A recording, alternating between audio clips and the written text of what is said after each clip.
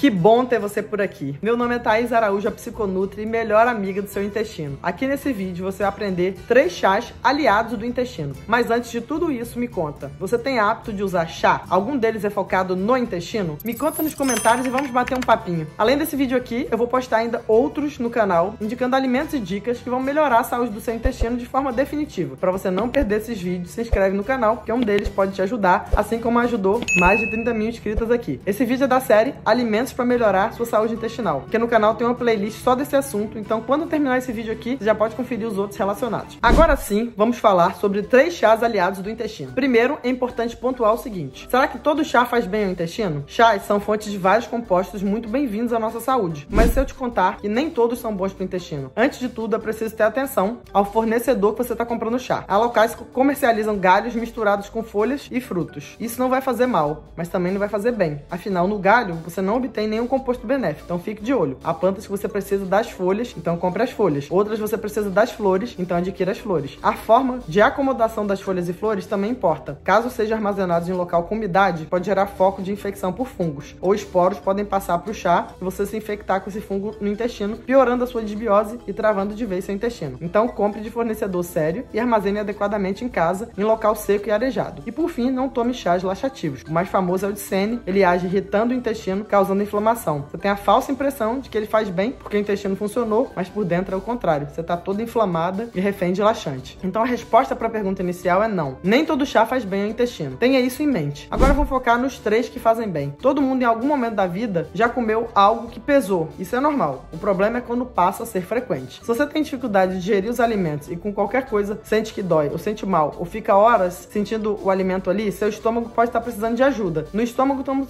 ácidos e algumas enzimas. O objetivo é já começar a digestão, principalmente de proteínas, no estômago. Se você sente que o alimento está pesando, o que vai te ajudar é uma mão para digestão ali. Se você sente o alimento pesar, então o que vai te ajudar é dar uma mão para digestão. Isso porque digestão ruim significa intestino ruim. Muitas vezes a causa do intestino preso é uma digestão dificultada, onde os alimentos não conseguem ser degradados adequadamente, chegam inteiros no intestino e lá as bactérias ruins fermentam eles, causando constipação, gases e distensão abdominal. Então, se o seu problema é que o alimento fica horas no estômago, aquela sensação de que o alimento não desce, então a dica é investir em hortelã e gengibre. Tanto hortelã quanto gengibre ajudam na passagem do alimento do estômago para o intestino. O consumo pode ser deles puros ou junto de suco ou na forma de chá. Chá é uma forma fácil, rápida e eficaz de consumir as substâncias presentes nos dois. Ainda te faz consumir líquido por tabela. Então veja, o chá de hortelã é altamente digestivo e quando melhora a digestão, automaticamente a saúde do intestino. Tome de uma a duas vezes por dia perto das refeições. O chá de gengibre, por sua vez, estimula não só a passagem do alimento do estômago para o intestino, como também a contração do intestino, fazendo as fezes se movimentarem para o reto e assim facilitando sua evacuação. Tome de uma a duas vezes por dia também. E o terceiro chá é especialmente para você que sofre com excesso de gases e distensão abdominal, aquele inchaço na barriga que não passa por nada. Chá de alecrim, ele melhora muito os gases. Tome de duas a três vezes por dia. Lembrando que o modo de preparo de hortelã e do alecrim é igual por infusão. Você coloca uma colher de sopa das folhas em uma xícara e acrescenta 200 ml de água quente. Não pode ferver, só quente mesmo, e tampa por 10 minutos, então consome em seguida. Já o gengibre você faz por decocção, onde você coloca lascas em uma panela, acrescenta 200 ml de água e leva ao fogo. Quando começar a ferver, borbulhar, você conta os 10 minutos, desliga e consome em seguida. Outro lembrete é que nenhum chá isoladamente faz milagre. Eles ajudam desde que inseridos no contexto que beneficia o intestino. Ou seja, você precisa fazer a sua parte na alimentação. Os chás são somente a cereja do bolo, tá bom? Muito obrigado por ter ficado até aqui. Comenta aqui embaixo qual a sua maior dúvida sobre chás. E tem mais dois vídeos aqui na tela para você tratar melhor seu intestino. Dá uma clicada neles. Um beijo e até o próximo vídeo.